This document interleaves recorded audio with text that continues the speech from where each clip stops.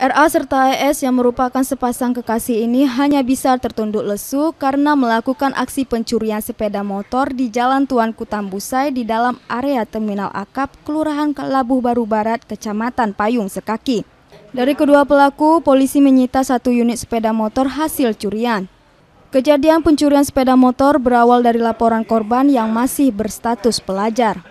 Atas laporan korban tersebut, polisi melakukan penyelidikan dan berhasil mengamankan pelaku di tempat persembunyiannya di Lintau, Sumatera Barat.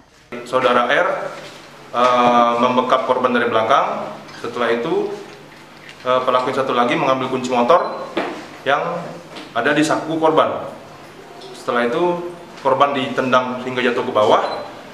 Uh, dan kedua pelaku membawa kabur sepeda motor dari korban.